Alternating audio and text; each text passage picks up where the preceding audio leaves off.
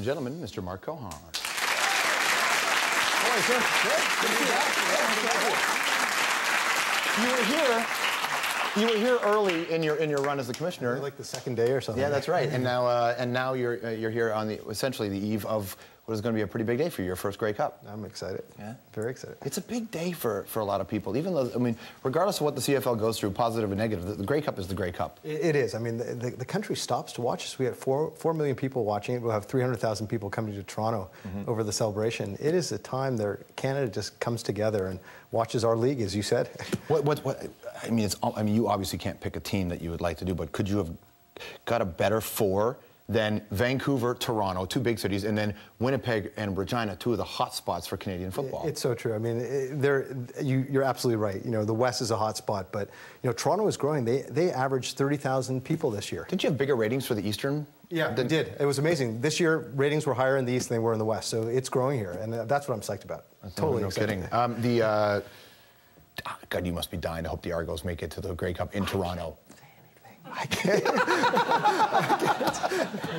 um, uh, no one's watching. None of the governors are That's watching. That's right. They're not watching no, this no at all. No one's watching this. um, it's a very tough. Uh, when I remember, I, I, I, listened to the sports radio station in Toronto all the time, the Fan, and yeah. uh, and uh, they, there are a lot of diehard CFL fans on that station, and. Uh, um, and when you got the job, there were a lot of people going, well, "You're out of your mind. You are walking. You might as well try to be the guy that sweeps the minefield." Right. It's a tough job. How do you sum up what, what you've experienced so far in the league? Actually, I think I have the best job in the country. I truly believe that. It is so much fun because I get to travel the country. I get to meet all these uh, rabid fans of our league. Mm-hmm. At the same time, you know, we got good owners now, so the league's in good shape. So it's all about building now. Mm-hmm. You know, we got some challenges ahead, like any like any other league does, but it's a good time for the league, and I'm, I really am having fun. It's almost been a crisis-free season for you. Yeah, that's true. Except for the whole, hey, let's bring an NFL team to Toronto. Who? Yeah, right? yeah, exactly. You know, I mean, listen, uh, we've had a partnership with the with the NFL for years and years. I mean, 1995, when the league was going through some financial difficulties, the NFL actually gave a loan to the league and, and helped them out. So I'm building a good relationship with Roger Goodell, their commissioner. We're just trying to figure out, you know, how we can how we can work together to grow football in this country. More and more kids are playing.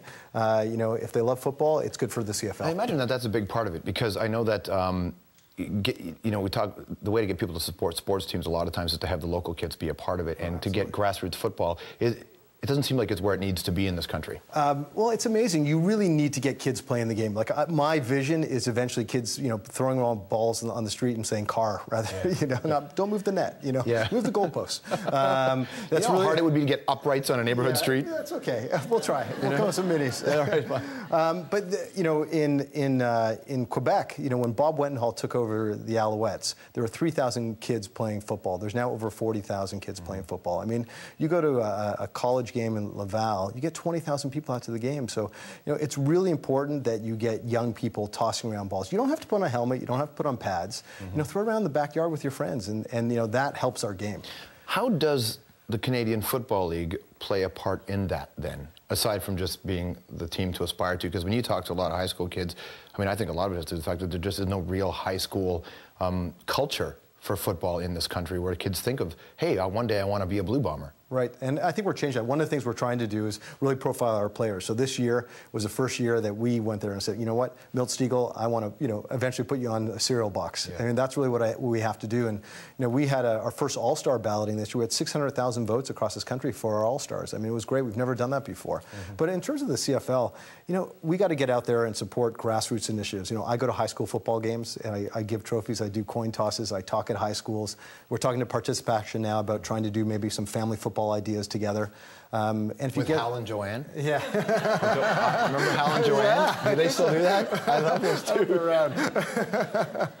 uh, and are are the schools open to that? Uh, yeah, they yeah. definitely are. I mean, uh, we uh, our Wilson is one of our sponsors, and they, they give balls to schools all the time. But um, you know, I've been talking to Silken Laumann. You know, her whole thing is about getting kids active again. You know, in this country, we got a D in our report cards on kids' health and, and activity.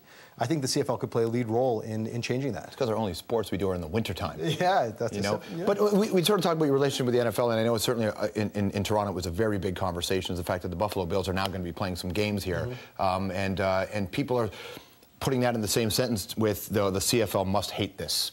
Yeah, I mean, I think it goes back to the issue of we have to do it in collaboration w- with the NFL because you got a preseason game, you got a regular season game. The NFL is also talking about doing another regular season game in Canada. Mm-hmm. So all of a sudden, you know, there's nine home games for the Argos, and a third of that would potentially be an NFL team. Yeah. You know, what we're really doing is can we collaborate? Can we cross promote it?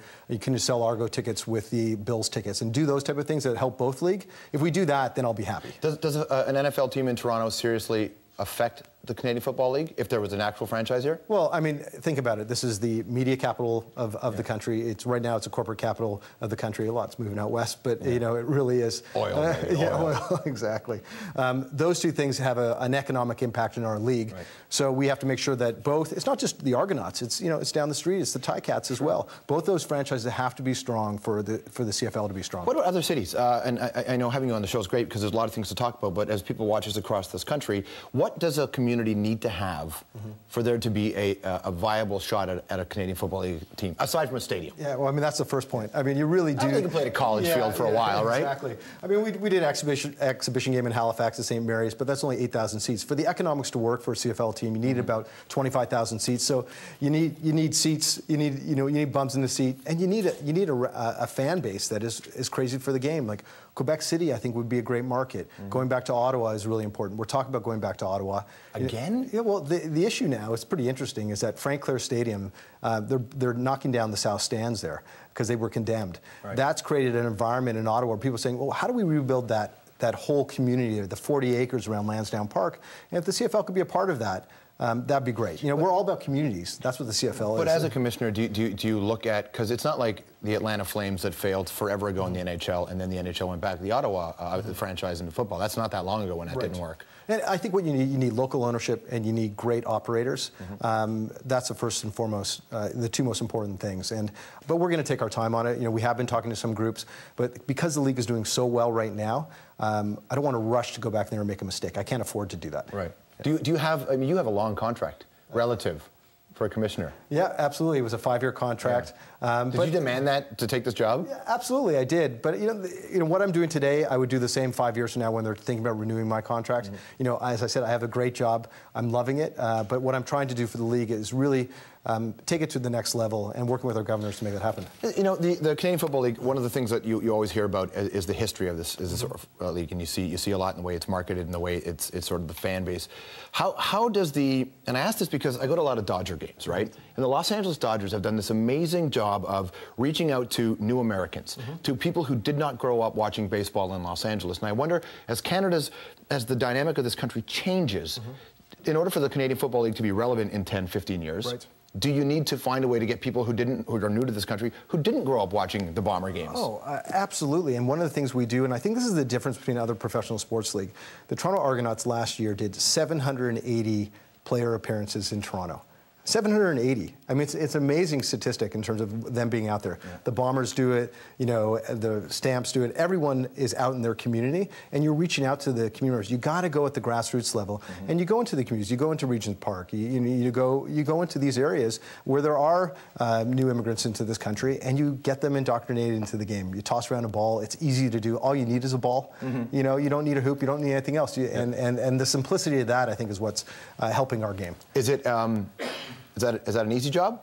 Uh, I think it's a long-term approach. Yeah. So it's not saying, okay, let's do a, a, ticket discount and you know try and get people in because we got you know some great rock and roll band playing at halftime. Mm-hmm. It's really about a gradual approach. And if you look over the past six years, the league is continuing to grow in our attendance. Attendance is up, TV ratings are up, uh, sponsorship is up. You're doing fine. Um, when you it's easy to look at that and go, we're okay. Mm-hmm. What do you need to do? Um, I think the most important drug policy. Uh, working on the drug policy. Uh, we talked about the first yeah. time I was here. That's important to a lot yeah, of people. I got a first draft of it. I've okay. been working internally on that. We're going to after the after the season's over, I'm going to meet with the Players Association about that. Uh, and is it, a, is it, a, legitimate drug uh, policy? They're, they're, really open to uh, discussing this. Like okay. they really are. So uh, that's one thing that I'm pushing. Um, the the product on the field is really important. So mm-hmm. when you talk about the game, and we can do all these marketing initiatives, like we're doing some great things about greening the Grey Cup because I've been talking to young fans that it's important. We've got to make sure that the product on the field. So you always need to recruit, you know, great Canadian talent. You need to continue to invest in officiating, and that's the stuff we're doing. And you got to let the provincial governments you got to make them ease up so people can tailgate properly. That's a good idea. Yeah. Because it can't yeah. tailgate in this province, Yes, you know. yes. I'm Well, just saying. Hamilton. Hamilton, yeah. The Box J boys are very good in Hamilton. It's, it's, it's a pleasure to see you. Yeah. You have a big Grey Cup coming up, and we Thank thank you you. for your Yeah, time. great to see you. Good to see you. The Commissioner of the Canadian Football League. And don't forget, there's big football on TV this weekend. The CBC's got a big game. It's going to be on CBC. The pregame show, 12:30 Eastern Time, hosted by the great Elliotte Friedman. Uh, and of course, it's the East Final, Winnipeg and Toronto. That's a big rivalry. 1 p.m. Eastern, right here on uh, the Canadian Broadcasting Corporation. Then 4:30 Eastern Time is the West Final. The Green Riders and the British Columbia Lions. And then don't forget, it's the big one, the Grey Cup, November 25th, also on CBC. Sense a good theme here, and then they'd leave us for no good reason. It wasn't my fault. It was all right. We got one hell of a songwriter who's not afraid to speak his mind on the way.